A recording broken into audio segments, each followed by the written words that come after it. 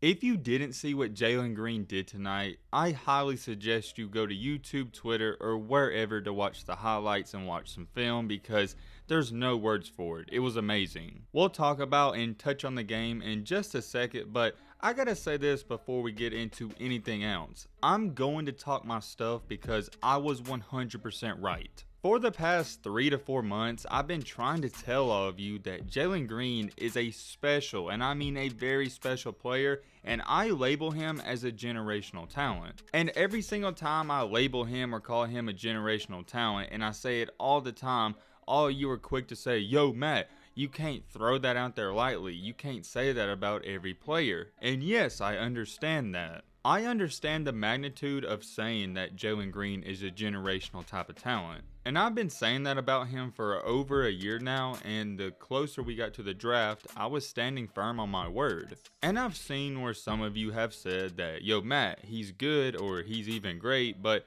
I don't know if he's as good as you're saying. And I'm not going to even go look for a clip where I said Jalen Green is my favorite player in the draft because I think I've said it in over 10 videos. I said it before the draft, and I'm going to continue to say it. Jalen Green was the number one pick in my eyes in the draft, and he should have gone number one because he is, without a doubt in my mind, the best player. Not taking anything away from Cade Cunningham. He's phenomenal. He's going to be a star but Jalen is slightly better. I know y'all think I'm talking, but I mean this. There's one word to describe Jalen Green, and it's special. There's not a single player in the NBA or over the past 20 to 40 years that you can compare his game to. How many players have a 40 inch vertical, can hit a step back jumper, and shoot the three ball consistently, but also pass and are also roughly 6 foot 5? Some people have him listed at 6 foot 6, but still, it's around that area. This may be a very hot and controversial topic and statement that I'm about to say, but I see a lot of a young Michael Jordan in Jalen Green right now. The way he holds himself, he's got that chip on his shoulder because even he said he should have went number one.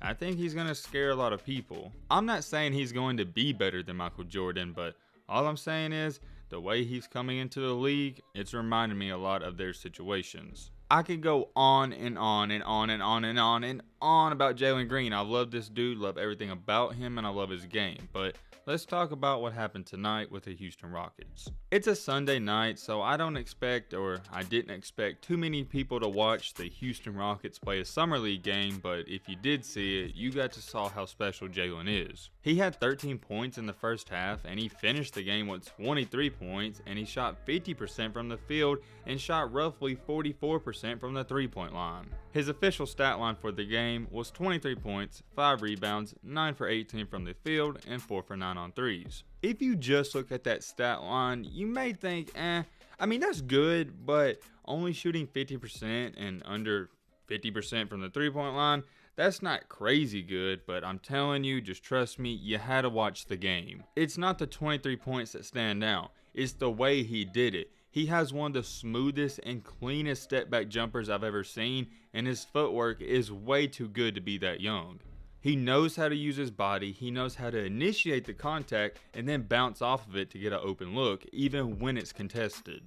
He's insanely explosive, we know that, but what's scary about him, at least in my eyes, is the fact that he can shoot lights out already. Most young stars and young legends, when they get to the NBA like LeBron and Jordan, they weren't known for their shooting ability, but they were known for getting to the goal. Whereas for Jalen Green, he can get to the goal, but he can also shoot at a young age. In tonight's game, he showed a full effect and just showed everything that's so smooth about him.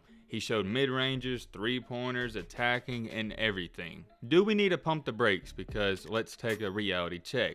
This was a summer league game, and he's not playing the best of the best players, and it's a summer league. Do I need to say anything else? Nobody's really trying 100%. I'm not going to overlook this performance, and here's why. Because I think this is only 50% of Jalen Green. I think he could have went out there and dropped 40. And I also believe he had 23 points going into the fourth quarter, so he probably could have scored 40 tonight if they needed him to. I do want to throw in there too that his good long term friend, Josh Christopher, pitched in 13 points, 5 rebounds, and 4 assists, and he looked really good, but his performance is going to get overshadowed by Jalen. And I'm not going to lie, when I was watching the game and I was watching the film, I didn't even pay attention to Josh Christopher that much. The only highlight play from him that stood out to me was I guess him and Jalen have been working on it for years, but he crossed over and hit a step back very similar to what Jalen Green was doing tonight. While we're talking about Christopher, let's actually give him some credit, and I think he's going to shock more people this season than Jalen will. All everybody is talking about how good Jalen's going to be, and don't think that Josh, yes, he's happy, of course, but he's going to use that as a chip on his shoulder, and he's going to be more motivated to play even better. I don't know if he's going to start on the team, but he could easily be a good six man and possibly win six man of the year. And the best part about Christopher's game to me is the defense he brings. That's an underrated part. This is a small sample size of what's going to come in the future, and think about it. Josh Christopher, Jalen Green, they're not even all that comfortable just yet. They just got there. What's going to happen is the more games they play and the longer they're with the team, they're going to get more comfortable and more confident. And every basketball player knows this. Confidence is probably the most vital part to basketball in general. Jacob is a type of player I see as a energizer, almost like a Draymond Green. No, they don't have a similar play style, but they both bring energy to the team that could help. All in all, though, solid debut for Jalen, solid debut for Christopher. It is a summer league, but at least they played good. Let me know your thoughts about it in the comment section down below. But with all that being said, that's going to wrap up this video. I hope you guys enjoyed. Hope you guys learned something. If you're new to the channel, wait on. Join the family, hit that subscribe button, and leave a like for more. And as always, let's be great. I'm out, y'all. Peace.